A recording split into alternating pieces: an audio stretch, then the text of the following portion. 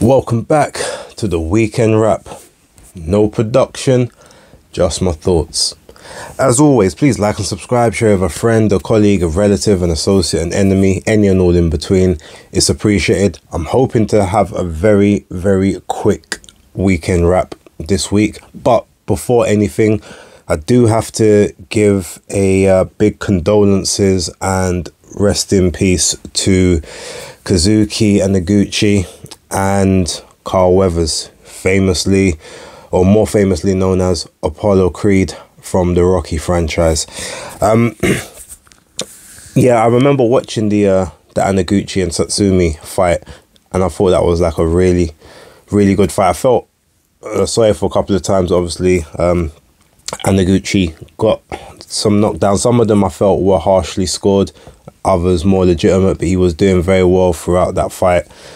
And then, yeah, you see him right at the end of the fight, uh, things happened. Um, he started needing help to be sort of carried out, and ultimately succumbed to his to his injuries in the um, in the changing room, and then subsequently the hospital afterwards. So yeah, uh, I guess prayers, well wishes with his family, and the same with Mr. Carl Weathers, seventy six, uh, icon, one of the uh, biggest icons in the sport of boxing, but his career spanned well beyond just like you know boxing movies. So yeah, uh, big up to to him, and obviously well wishes to his family. Moving on to this weekend, obviously we had the uh, I guess we had the news about the Fury and Usyk um, postponement, which we spoke about on Friday. We now know that that is going to be taking place on the 18th of May. Um, and it's been stipulated that if either guy pulls out of that fight for any reason, they will be forfeited ten million dollars. I think it was. I've got some. I got some uh, thoughts on that, but I'm gonna give those right at the end of the video. Let's talk about the weekend. So let's start off with the card that took place in Las Vegas. I actually started at 10 at 10 o'clock Vegas time, which would have been 1 uh, 1 p.m. Uh, Eastern time, so like New York and stuff, which was um yeah, I'm sure that the guys over there, depending on I guess what time they they had to wake up in the morning, um, I'm sure that would have been interesting. You know, you wake up at eight and then you're fighting by ten, no time for breakfast or anything else. But you know, it is what it is. It happened, and um, I haven't seen every single fight. I, I was trying to watch some of the undercard, but I was caught between two different shows. So realistically, I'm just going to speak from the uh, Khalil Coe fight. Now, I thought that he was going to go points on that one. I thought that he would win comfortably, but I thought it'd be a points victory. And obviously, I did say you never quite know the level um, that someone has been competing at when they're coming from, like, you know, Mexico or, you know, South Africa or something like that. But you know that they have very tough um, domestic uh, sort of like domestic level competition, so you can never be too sure. Well, Khalil Coe made light work of Asuna, um, two rounds, um, and he got him out with several body shots. So I guess they always say a lot of them will say like Mexicans, Argentinians, like they've got very sort of tough heads, very durable up top, but maybe the body is the way to go. And that's exactly what Khalil Coe did. He's one of he's been one of my favorite prospects in the light heavyweight division um, for a while. I have said that.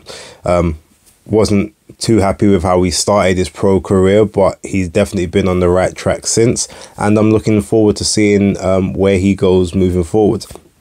After that, you had Johnny Fisher, Romford Bull. Now, I did say that I expect him to get Dimitri, uh, uh, Dimitri Bezus out of there. Um, no later than the third round, but I was expecting possibly the second. Well, he got him out of there in the first. Um, there you could have maybe said the ref could have allowed it to go on a little bit longer, purely for the fact of you know he landed some shots, some was being blocked, some was being dodged. Um, Bezus wasn't really going to get into it as such, but maybe, you know, Johnny Fisher could have punched himself out a bit. Then he's got to take a bit of a break and maybe you see how that transpires. But I mean, Bezus, at the end of the day, he didn't respond in like 10, 12 seconds of, of you know, a barrage. And those weren't the only heavy shots he took in the round. So I haven't got a big complaint about it. just think maybe it could have gone on a little bit longer. But hey. Um, then we went to Austin Ammo Williams against uh, what's the guy's name? Mbomba Yasa, but I can't remember his first name. Um, Arm Armin Armel, I think it's like Armel. Yeah, Armel Mbomba Yasa, who I'd never seen before, but he was game. He came to fight. Um, seemed a bit tentative like at the start obviously um had the height he had sort of the height disadvantage but you know he threw he did actually throw some decent shots landed some decent shots um but williams was just in control for the majority of the fight he was um very sturdy very very comfortable very composed for the most part. Also landed some pretty good body work himself. And ultimately yeah um the punch he landed at the end of the seventh round to end the fight um, you know, which slid Mbomba Yasa through the ropes. Yeah, it was a it was a peach of a shot, and that could definitely end up on the uh, you know the KO of the year awards come the end of the year. Because it was um perfectly executed, and he put he, he put his whole entire frustration and life struggle behind that punch, and it was a it was a peach. So if you haven't seen it, definitely go check it out.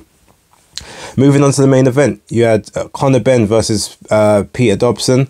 Now, I had actually said in the previous video, I expect this to be a very tough test for Conor. Um, I knew that Peter's the type of person that he doesn't start very fast. So, him fighting in like the team combat league is not a great uh, is not a great indicator of his record because he's not the kind of person that goes in there to win the fight in the first round. He's the kind of person wants to sort of take a bit of, take a bit out of you, take a bit away from you, and then sort of take it down the back stretch. And ultimately, that's exactly what he did here. He weathered a storm in the first two to three rounds. Um, you know, touching Conor back occasionally, but really was just there trying to soak up the pressure, stay defensively responsible. And there's a lot of times, as I said, you might think a shot's about to go through, but the arm's there to guard it. He, he turns his stance slightly to just take away some of the impact of the shot. And he's very tough, very durable. Um, and yeah, I kind of had a feeling it would play out that way. I did predict that Conor Benn would win on points. Um, and the prediction stuck. Now, with regards to a lot of people saying, oh, well, now that he's quote unquote off the juice, all of a sudden he ain't got no knockout power.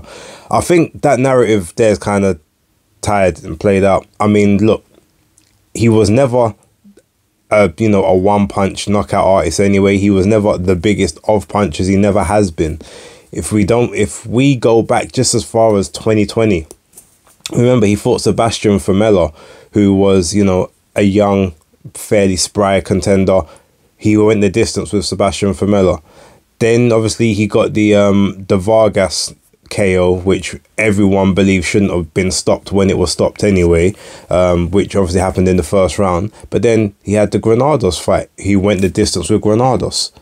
You know, then you get the Chris Algieri fight and the Chris Van Heerden fight. But let's not forget both Chris Algieri and Chris Van Heerden were well past their best. Chris Algieri is not even a welterweight. Like he was really um, at his best. He was a light welter, and he was about. He'd been out of the ring for a, a, year and a half, I think, two years before that. So when we're looking at who a lot of the people Conor Benn had knocked out, they were pretty much like faded opposition. They were older or maybe smaller or just well past their best or have been in one too many wars that's just kind of what it is.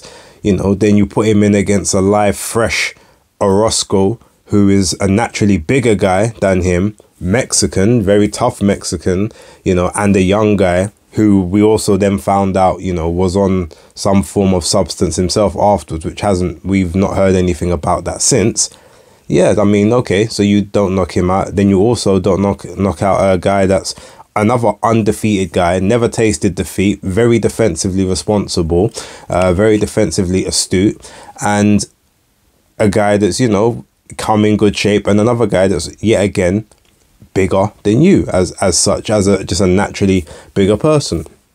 I don't read too much into the the lack of knockouts. I mean, it's a good narrative for people that don't have any comprehension of either the sport or Conor Benn's record as a whole yeah, okay, you saw it. He had two back to back good looking knockouts or, or stoppage finishes, and then he's had two fights go the distance. But if you look down the entire record, you know, even before, let's say, okay, before the um, the Orozco fight, he was um, 21 and 0 with 14 KOs. Does that scream KO artist to you? No, like KO artist would be 18 knockouts, 19 knockouts, 20 knockouts. 14 just means you've got good power and you have the ability to get people out of there, but you don't always do it. It's, you know, it is what it is. Um, now, obviously, if every single fight moving forward is a points victory, I mean, depending on who it's against, you know, because if every single person you're fighting is young, hungry, fresh guys, don't know how to lose, never been beaten or been beaten once, but they've never been knocked out before, then really and truly, it's not, you know, it, it can't just say, oh, well, it's because of the juice, it's because of uh, the substances. Like, no, it's, that's a bit too much of a simplistic take. Um, similar to, well, anyway, I'm never going to get into it. That's that's kind of my take on it. Uh, let me know how you guys feel down below. But I felt that it was a good performance from both guys. I do think that um, Pete Dobson deserved more than two rounds on um, two cards and one round on the other. Um, I didn't. I, I'm going to be real. I wasn't scoring. I was kind of watching it um, just as a as an overall I'm not, you know, I'm not trying to say oh who won and who didn't win. Like Conor Benn clearly won the fight, but to me, from what I was watching, I saw Dobson take at least three, four rounds um, in there. There was times where you know Conor obviously he's, he's coming back, but his shots ain't really landing too clean. Dobson is taking over those fights, and he's his punches are having they look like they're having more of an effect on Conor than Conor's punches look like they was having an effect on him, like especially towards the latter half of the fight. But ultimately, Dobson lost. So you know, I, I guess whether he got an extra round or two as consolation is neither here nor there. Uh, right now, moving on to the uh, boxer card. Now, I didn't. I, I managed to see the Francesca Hennessy fight on. Um, uh, what was it? The before the the live broadcast, the undercard bit. Fine. Um, you know, it was. Uh, I feel like the the other girl was a little bit hard done by. Like you would think that when you bring in an opponent with you know a Spanish speaker that doesn't speak English, we've got British referees over here that speak Spanish. Like, why not get one of them to to be in there so that even when you, even if you're calling, um, you know, there's certain words that you have to call, and you're supposed to train. Each fighter knows that that word means X, Y, Z. So when you say break, step back, they know. Okay, break means stop or stop means stop, step back means move away. But then every word outside of that, like the guy's in the corner trying to talk to her as if she's as if she's from Essex. Like he I don't think she understands what he's saying half the time. And it would have helped if you had a if you had someone in there that at least had basic Spanish to say, you know, don't hold, don't hit on the brake, stop stop holding the head or whatever just so that she okay that's what i've been stopped for. Because there are certain times she's in the corner to me from what i saw looking lost like what's the problem?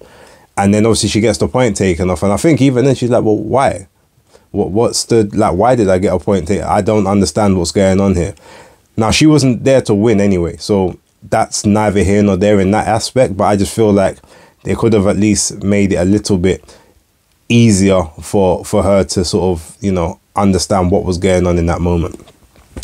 I haven't seen the Jamie TKV fight yet, so I can't comment on that one. Um, I was busy when that fight was taking place. Um, I didn't see the um, Caroline Dubois and Miranda Reyes fight from the start. I saw it from I think the fourth round on. Um, what I will say is obviously I expected Caroline to win. I did predict again that it will go points. Um, when you got those, you know, these young hungry girls, especially like um, tough, you know, American, Houston, Texas, clearly of some form of uh, Hispanic descent.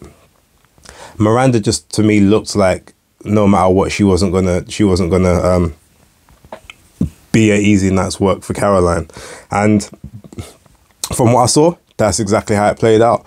Now, to be fair, Caroline won every round conclusively from what I saw, but Miranda Reyes did not uh, she didn't come to lay down. She didn't come to survive. She tried every single round, and she had her best success every time that she went on the front foot rather than trying to either counter or, or sort of stay stay back and trying to box with Caroline. Being a naturally smaller girl with the smaller reach, um, the, the slower of the two, her best bet was to be on the front foot. Now, let me address something before I carry on with this one. Because again, Caroline, great performance, done what she needed to do, no issues there. Capricorn girl, good girl. Um, all that good stuff. Like she won convincingly, no disputing that. My issue is with the commentary. Every single time that Caroline got caught, and there was several times, there was one time she even got hit with a three piece combo. The you had Andy Clark and Matthew Macklin talking about other menial irrelevant stuff when the punches are landing. But anytime that Caroline landed a good shot, they could have been midway in conversation. Oh, good shot there from Caroline. Did you see that? The only person who at any point was even like motioning to, to give credit to Miranda Reyes when she was letting off any good work was Tasha Jonas. Um, and that to me is what they need to stop doing. It's not just like obviously Sky Sports and Boxer. A lot of a lot of them do it. uh, Darren Barker does it a lot with the with the zone as well. Um, the only people I know that sort of seem to uh that you know is um Barry Jones is always very good at calling the action on both sides when he sees something. Um, Sunny Edwards very good at doing it. Tasha Jonas is good at doing it. Um, and Sergio, uh, I think Sergio Mora as well is, is quite good at um, you know giving praise to both to both fighters when they're doing good work. But yeah, like obviously I know Caroline's the star. She's the she's the heir apparent. She's the one that everyone's there for. But like at least give the girl some credit. Oh yeah, she's she's come tougher than we thought she was gonna be. Oh you know she's you know she's uh she's she's trying. She's just not having much success. But then every time she's having success, you're not highlighting it. Yeah, okay, it may not have changed the scorecards, but at least it's giving the you know the public a good and honest representation of what's happening in the fight. And that was one thing that really annoyed me throughout the entire time I was watching I was watching that fight. But um, again, big up to Caroline and big up to Miranda. You know, I want to see her. I want to see her again.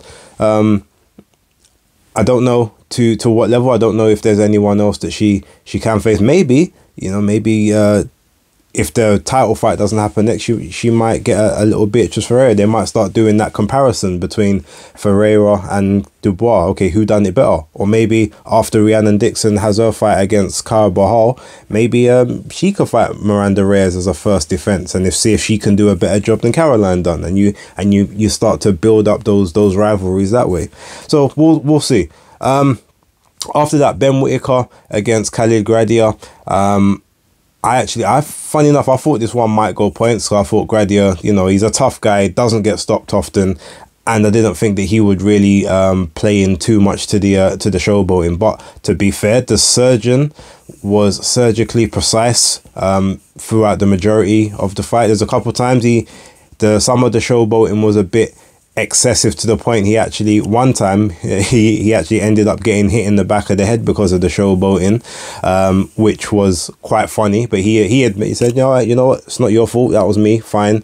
Um, turned his back uh, doing you know a big spin in the ring which obviously that was the one time that I would say yeah that's the one that you, you can't do because you can't have your back to your opponent at any time of your own volition. Uh, outside of that, everything else I pretty much enjoyed. It was it was just a, a good performance. And obviously, it was body shots that got Khalid Grady out of there. So, um, big ups to him. And now Ben's had two back to back camps. Hopefully, no injuries, no niggles. If uh, I think they want to get him back out again in on the uh, the March card. Um, if they can do that, hey, all more power to him. Like, let's keep him active at this point. Um, provided he's not injured, like if he can be out on that bad blood card, brilliant. And then get him out on another card, like in maybe start of June, and then yeah, like a two more for the end of the year. Have if he can get five five fights in this year, brilliant stuff for for Ben, so he can really get his um get his career kicking on. But he's a talent. Whether you, I've I said on I said on Twitter X like he is box office. Whether you love him or hate him, he will be a box office star um, because you're going to tune in, especially if he, if he keeps winning. Uh, you're going to tune in to see him either get knocked out or you're going to tune in to see him like knock someone out or do something outrageous during the fight. So big ups to him. Uh, Adam Azim and Enock Poulsen. Um, Azim got the victory. I wasn't that impressed with his performance, if you want me to be real. I thought Poulsen, while they didn't give him any rounds, actually, I think I gave him the second round um, and I had him competitive in the fourth. But there was several times there um, he was basically he was pull countering or he was um, shooting he was shooting off of Adam Azim's shot and was catching him quite comfortably and he was also defending himself very well there was very there was no time that I watched that particular fight and I saw him in any real big trouble. There was no shot that um, that Adam Azim hit him with that I thought, oh, that, that one sort of took him away, wobbled him a bit. He seemed fairly comfortable, fairly composed throughout the entire fight. Um, while Azim was winning the rounds, like he wasn't, to me, again, he didn't look spectacular. Um, I can still see why he's not been put in there with any punches at all because his defensive lapses are very pronounced. And while they keep trying to say that he's above the European level, I don't think he is. Um, you put him in there against a domestic guy that can crack, and he's going to be in problems. So, as far as I can see, while I'm not saying he's not, he's still talented. He's talented, but if you're trying to push him towards world level, or he's saying he wants to win a world title by the end of this year. No, it's not going to happen. Um, I mean, we've we've got Dalton Smith against um, Jose Zepeda in April. Like, I don't think. I think if Dalton Smith wins that fight, you've got a clear, you've got a clear indication of who is at what level, um, and to say that he's above um, Enock Enock Poulsen after Poulsen basically had he had to retire due to a, a very bad dislocation of his of his right arm. That's not you know that's not a, a great advertisement. Um, Shane McGuigan almost laughing off the, the thought of an Ishmael Barroso fighting Adam Azim. Uh, well, don't laugh that one off at all because Mumra will get him. I, I've got no I've got no doubts in my mind that his counter punching and his experience his timing will beat the speed of Azim because Azim does too many things defensively poor when he's uh you know when he's actually especially when he's on the attack. When he's holding back and he's trying to counter he, he has a little bit more about him but when he's trying to attack those arms don't come back to the to the chin quick enough. His head doesn't move off the line quick enough. He gets caught. And make no mistake if you put him up against um if you put him up against Ishmael Barroso. I'm taking Mumra uh, every day, for especially right now. That being said, move to the main event, and this one obviously it was one of those fights where, um, you know, I had everything. Um, hoping that Dan Azeez could do the job. Obviously, we come from the same same area. We went to the same school. Um, you know, there's only a couple years difference between us in age, so I was very very um, willing and keen for him to do well. But as you saw on basis picks, I did predict that he would lose, and I actually thought he I thought he would get stopped. And it's not. And again, I said if it was April, if it was the October fight, I would have actually had him as the winner. I truly believe he would have won back then. But the whole thing with the back, I just wasn't. To me, it just felt like this could be a problem. And even in the ring, I mean, to be fair, it was kind of both guys, but neither guy looked that explosive in there or that sharp, uh, sharp as like you would expect them to be. I feel like Joshua Buatsi, with the level of inactivity that he's had as of late, he's more used to coming back into a fight after a layoff, whereas Dan is very he has to be in the ring just constantly grinding it out and he even kind of said that to me when we had our little chat on Thursday that you know I mean it's only 6 months some guys are out of the ring for a year. But look I am my best when I'm more active when I'm just out there like constantly and constantly in the gym learning and improving. And in those first couple rounds you could kind of tell both guys looked a bit sluggish and a bit slow. It did pick up after that throughout the sort of the next few rounds and next few rounds but you know the sharpness wasn't really there from either guy the the body work was the best that both guys employed but in terms of throwing those sharp short shots the straights um, and all of that the the person who probably had the the most sharpness in terms of any single shot was Dan Azeez with the jab. And even then, that only sort of really kicked in from about around three or four onwards. So while it was a very good fight to watch, don't get me wrong. I'm just, what I'm saying is based on how I feel that fight would have played out in October as opposed to now in February, to me, there was a noticeable drop off. And with regards to the actual fight itself, to be fair, look, the back didn't look like it caused any real issues, but we'll never know. Like we, we're not gonna know how much of a how much of a hindrance it was. Um, he looked like he was moving pretty well, a bit slower than usual, but still pretty well. Maybe there was times he was thinking about it. I don't know. On Joshua Buatsi's side, he was um, also, you know, again, he, he sort of took him a bit of time to get into it. He never fully got his sharpness until I think about around seven. I think so around seven and round eight was when he really started to let the shots go well. Um, and I think I predicted that it would end in the I think on here I said between the eighth and the ninth, but I think on my on my predictions league I said the eleventh. So let's talk about the eleventh round. Actually, you know what? Let's go through the fight and I'll give you my scorecard, right?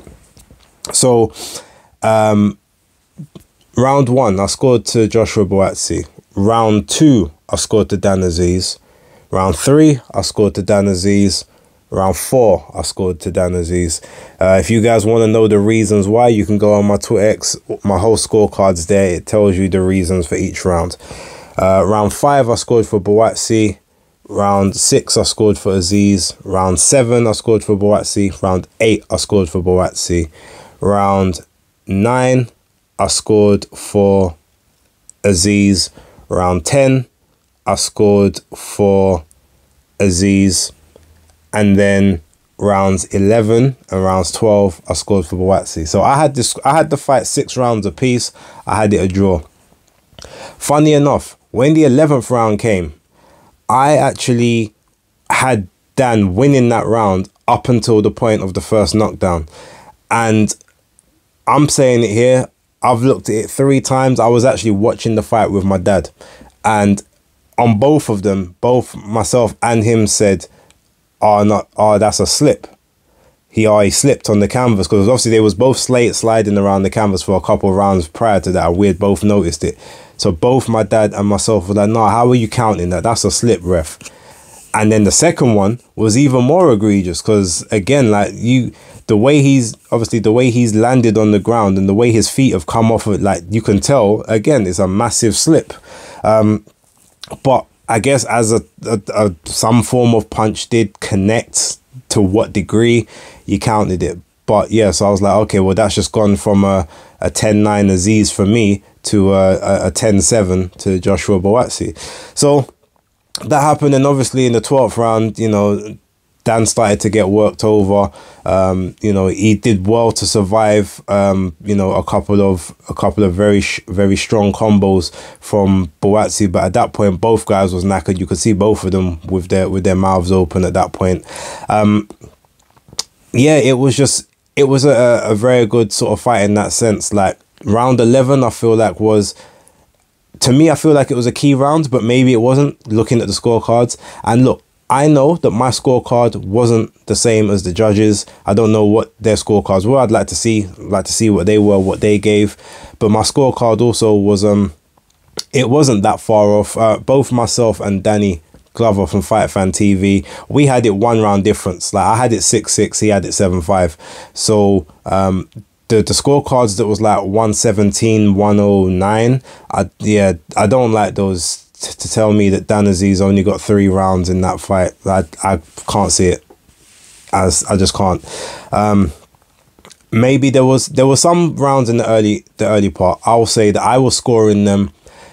I was taking note of the body work from Buatsi, but I was also noticing that not everything from the body was getting through. But there was a lot of good, solid, clean shots, clean landing shots to the head from Azeez. And so in some of those rounds, I was giving um, Azeez maybe a bit more consideration for the fact that he was still as busy as Josh, if not busier, and landing the more the more eye catching shots up top, but I was taking note of the body work as well. So there was a couple rounds where I could have gone either way on them, um, and you'll see that on my thing. I just gave it to Azeez because this was more eye catching than that. They was both working, but it was very tight. Um, so I'm sure some people would give it the other way because Buatsi's the home, the more of the like the A side in in the in the actual fight itself. So yeah, it is what it is. What it is. What you like. I had it six rounds apiece. I think it was definitely a lot closer than the fight than the scorecards uh, read. Um, but ultimately, it doesn't mean anything. Doesn't change anything. Uh, Dan still lost. I did think that that would be the case. So even when I'm scoring, it's not. I remember I've predicted for him to lose, so I'm not going to now try and score a fight favorably to prove that I'm right, because ultimately that would make my scorecard wrong. and That would make my prediction wrong, which is not something that makes any sense. But yeah, that's all my thoughts on it. Um, they had their pros. They had their post fight. Now uh, Joshua Buatsi is number one uh, with the WBA. Eventually, he will get called as a mandatory. They're talking about the Yarde fight. Dan Azeez obviously he wants to come back out, so maybe now he can fight someone else. I would. I would don't want his next fight or even his fight after that to be Craig Richards. That's too much of a, a conflict of interest for me. Um, if you know, you know. Uh, but outside of that, yeah, if you can get any of the other domestic guys to start off with, and then maybe somewhere down the line you do that one, fine. But I just don't want to see that for for now. Like I don't like when two people, not only two people that I necessarily like, but two people that I know and that I know very well. That's gonna be one of those ones where I wouldn't even do a video on it. Like I'm not giving, I'm not gonna give the prediction. It's it's too close to home. But um, yeah, look, that's pretty much that. I'm gonna leave it there. It was a decent weekend of boxing. Um, you know, some things could have been a lot better. Some things uh, could have been a lot worse overall. I mean, we got what we got. Oh, uh, so going back to my thing earlier on where I was talking about Fury and Usyk and the fact it's being planted for the 18th of May. Something tells me and this is just me, right? I'm gonna say this. You guys can run with it. Do what you do what you want afterwards. Something is now telling me that if this fight is literally gonna happen three months after this cut, when you're not really gonna be able to spar for at minimum six to seven weeks. I've got a feeling that cut happened a couple of weeks ago.